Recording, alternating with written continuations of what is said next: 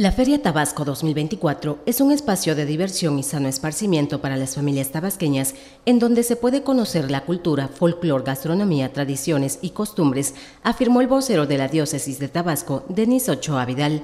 El clérigo indicó que al ser la máxima fiesta de los tabasqueños es un espacio donde se muestra la esencia de Tabasco. Ante ello dijo, los asistentes al recinto ferial deben de comportarse y no ser generadores de violencia. Por ello los invita a evitar los pleitos por el consumo de alcohol. Bueno, lo primero, desde luego que la feria es un espacio de recreación para el pueblo tabasqueño.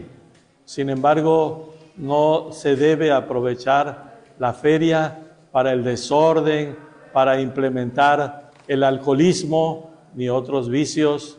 Eso es muy importante, ¿verdad? Las autoridades aquí tienen un papel muy importante, ¿verdad? Porque no, no pueden las autoridades en un ambiente tan difícil como el que vivimos eh, propiciar, por ejemplo, la abundancia del alcohol. Eso es, hace daño a nuestro pueblo. Entonces tiene que cuidar eso.